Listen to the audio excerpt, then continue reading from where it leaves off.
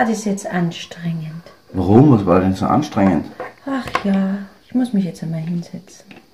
Ach, ich habe eine Gruppenarbeit durchgeführt. Oh weh. Ja, manche Kinder, bei manchen Kindern ging es eh gut, aber bei den meisten nein. Die haben es nicht verstanden. Da war es dann so unruhig und so unkonzentriert. Ah, das heißt, manche haben auch gar nicht mitgearbeitet, oder? Nein, und das war dann so anstrengend. Manche hatte ich auch das Gefühl, dass sie es überhaupt nicht verstanden haben. Mhm. Das Problem kennen wir doch, glaube ich, alle. Hm. Ich war vor kurzem auf einem Seminar und da habe ich eine neue Methode kennengelernt, das Gruppenputzle. Eigentlich ist die Methode ja gar nicht so neu, die kommt ja aus den 1970er Jahren. Aber die scheint eine ganz tolle, das scheint eine ganz tolle Methode zu sein, dieses Gruppenputzle. Möchtest du dir mal anschauen? Ich möchte mal Wirklich? selber ausprobieren in meiner Klasse. Wirklich? Ja, Ja. dann würde ich sagen, ja, hast du Zeit? Dann komm doch Ja, mal geht's vorbei. gleich? Hast du gerade Freistunde? Ja, ich habe gerade eine Freistunde. Gut, dann schauen wir mal in die Klasse. Dann gehen wir mal mit.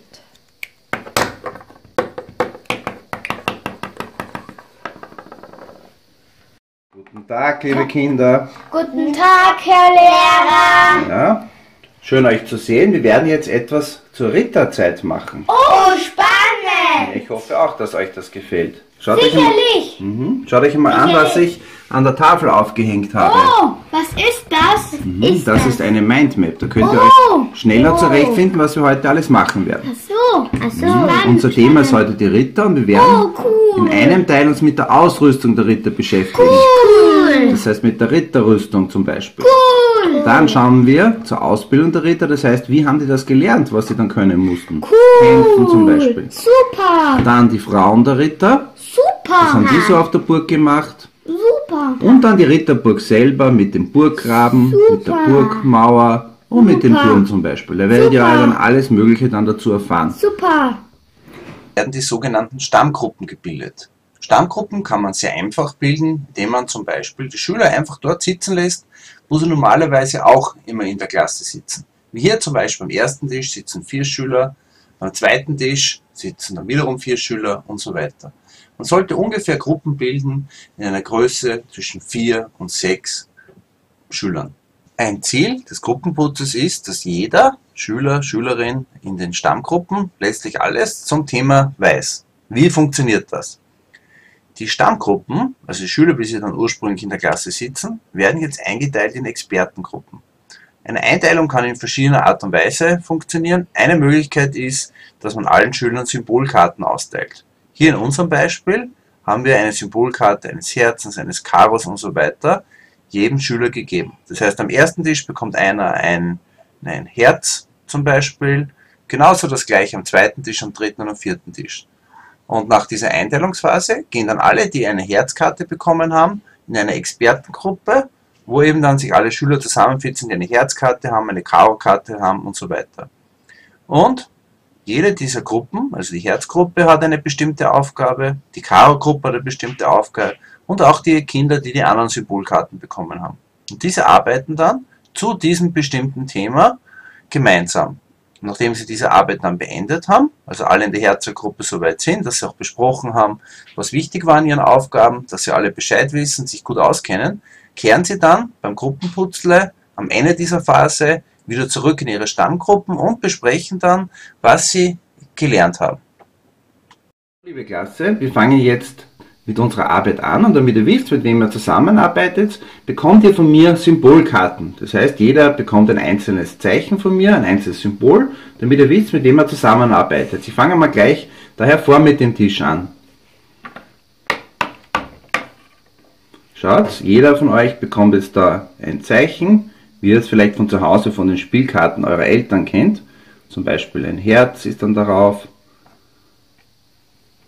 jeder bekommt eins. Und euch fällt dann gleich auf, dass bei euch am Tisch jeder ein anderes Zeichen hat. Und so wird es auch bei jedem anderen Tisch sein. Gruppe muss man mal genau wissen, wer überhaupt zu der Gruppe gehört. Wie hier in dieser Mindmap habe ich das ja schon eingezeichnet. So gehört in der ersten Gruppe Fritz, Susi, Leonie und Peter dazu. Wir haben die Einteilungen hiervon mit den Symbolkarten vorgenommen. Das Thema, das die Gruppe bearbeitet, muss klar sein, wie hier bei der Expertengruppe 1 die Ausrüstung der Ritter. Dann muss das Material, aus denen sie ihr Wissen her herausarbeiten, klar sein, wie hier das Schulbuch auf Seite 15, die erste Spalte. Die Fragen zum Thema müssen vorliegen und natürlich der genaue Ar- Arbeitsauftrag wie das Lesen der Textstelle und die anschließende Beantwortung der Fragen. Sitzen alle gut? Seid ihr gut in den Gruppen angekommen? Ja. Was sollen wir denn machen, Herr. Lehrer? Gut, schaut einmal her. Ich habe euch auf der Tafel da was aufgehängt und das gleiche findet ihr auch bei euch auf eurem Tisch. In der ersten Gruppe, das heißt in der Herzogruppe, ja, genau, ihr seid das. In der Herzogruppe sitzen jetzt Fritz, Susi, Leonie und Peter. Und ihr arbeitet jetzt zur Ausrüstung der Ritter. Und die Unterlagen dazu, alles was ihr wissen sollt, findet ihr im Schulbuch auf Seite 15 in der ersten Spalte. Und dort bearbeitet ihr dann die Fragen zum Thema, die ich euch auf den Tisch gelegt habe. Ihr lest also genau den Text durch und beantwortet dann gemeinsam die Fragen. Und ihr seid dann die Spezialisten für die Ausrüstung der Ritter. Und alle anderen arbeiten dann ihre Themen durch. Ich habe euch auch genau dorthin geschrieben, wo ihr im Schulbuch was findet und was ihr dort genau machen sollt. Und wenn ihr eine Hilfe braucht, dann könnt ihr gern zu mir kommen und ich werde euch dann eure Fragen beantworten. Also fangt einmal an. Die Gruppen arbeiten ganz angestrengt und sind ganz äh, bei der Sache dabei. Herr Lehrer, wir sind fertig geworden. Mhm. Möchtet ihr jetzt wissen, was ihr machen sollt? Ja, bitte. Gut, und jetzt unterhaltet ihr euch drüber bei dem, was ihr gerade gemacht habt, wie ihr es den anderen Kindern in der Klasse am besten erklären könnt. Das heißt, das, was ihr jetzt gelernt habt, solltet ihr den anderen ganz gut erklären können, dass sie sich danach dann ganz gut auskennen. Die Expertengruppen arbeiten aus ihren Aufgaben. Sie besprechen dann ihre Ergebnisse, sie überlegen, wie ihr Wissen der eigenen Stammgruppe dann zum Schluss vermittelt werden kann. Und schließlich kehren sie dann wieder in die Stammgruppen zurück und erklären das, was sie gelernt haben, den anderen, mit denen sie ja ursprünglich zusammengesessen sind, also ihren Mitgliedern der Stammgruppe. Die Mitglieder erklären sich also dann gegenseitig aufgrund ihres Expertenwissens aus den Expertengruppen heraus die Lösungen ihrer Aufgaben. Und zum Schluss kennen dann alle Mitglieder der jeweiligen Stammgruppe sich beim gesamten Stoff, beim gesamten Thema aus. Herr Lehrer, wir sind fertig. Was sollen wir machen? Gut, meine Frage an euch. Seid ihr wirklich alle fertig? Könnt ihr euch alles schon erklären? Ja? Ja? Gut, dann machen wir jetzt folgendes.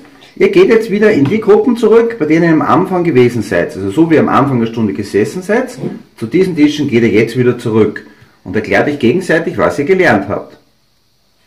Okay. Herr Lehrer, was sollen wir machen? Ja, Letizia, ich erkläre es dir jetzt und allen in der Klasse. Du, Letizia, kommst ja aus der Herzogruppe. Und du erklärst jetzt allen am Tisch, was du in der Herzogruppe gelernt hast. Und so macht das jeder dann an seinem Tisch, weil jeder kommt ja aus einer anderen Gruppe vorher. Liebe Lucia, kannst du uns das sagen, was ihr machen sollt an eurem Tisch? Also an unserem Tisch sollen wir, sollen wir erzählen von der Karo-Gruppe. Ja, genau. Du kommst aus der Karo-Gruppe und du erklärst, was du vorher in der Karo-Gruppe kennengelernt hast. Und der Fritz, der kommt aus der Herzergruppe und der erzählt alles, was er in seiner Herzergruppe kennengelernt hat. Und so erfahrt ihr dann aus allen Gruppen, was sie dort gelernt haben. Alles klar? Ja. Also, Vorteile des Gruppenputzles bestehen unter anderem darin, dass die Lernenden sich mehrfach gegenseitig bestimmte Stoffinhalte bzw. Fertigkeiten näher bringen. Wenn man sich gegenseitig etwas erklärt, ist dies eine der effektivsten Formen des Lernens. Genau. Alle Lernenden müssen sich aktiv an der Gruppenarbeit beteiligen. Nur durch Zusammenarbeit in der Gruppe können alle das gemeinsame Ziel erreichen. Alle Lernenden werden zu unverzichtbaren Experten. Lernen durch Lehren ist hier das Motto. Durch die Vorträge in, den, in der eigenen Gruppe wird die Präsentations- und Ausdrucksfähigkeit auch noch gefördert. Und wenn die Lernenden sich als unverzichtbare Partner beim Lernerwerb erleben, kann dies den gegenseitigen Zusammenhalt fördern.